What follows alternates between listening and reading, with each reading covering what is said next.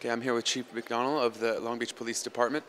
All right, so um, Chief, one of the things you mentioned in your talking about uh, violence prevention and the strategy here in this city is uh, you said too often um, uh, the police department and administration kind of rolls things out instead of uh, participating with the community. Um, could you elaborate on that a little bit, what that means to you? Sure, yeah. We all, uh, everybody's very busy, everybody's working hard, everybody's trying to do the right thing, and I think we get uh, too often tied up with the focus on where we're trying to go rather than building a team and going there together.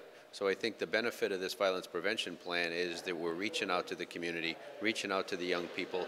I, I really see them as the key, the key ingredient to this whole thing uh, being successful, is to have young people on board, peer leaders in the community that are saying enough is enough with the violence, enough is enough with the gang activity and the things that drive the violence, and it's time to take back our city. It's time to build a city, to build uh, a future built on respect for each other built on respect for what, all the hard work that went into making the city the great city that it is, and then working together to try and take it to the next level.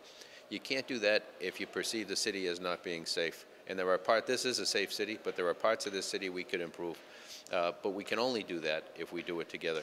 And bringing a group like this together, the faith community, the, the city, uh, the county resources, um, but the young people in the community, uh, again, is the key ingredient to all of this. I think we, we try and do things as uh, well as we can, but we do them in silos. To be able to build a web where everybody has a piece of this, but everybody has a network beyond those that are directly involved in the meetings, and go back into the neighborhoods and then build a team, and then start to see results. We need to celebrate milestones so that as we move down the road and we see fewer fewer instances of violence, uh, fewer uh, instances of uh, vandalism, graffiti, and the types of things that make a neighborhood look bad, that lead to disrepair and uh, and dysfunction.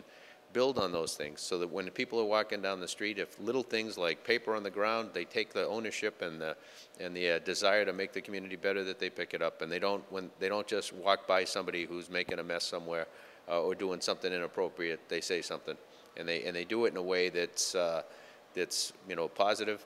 You know, hey, let's make our community better. And I think it's having ownership over our neighborhoods that will make this the city that it could be.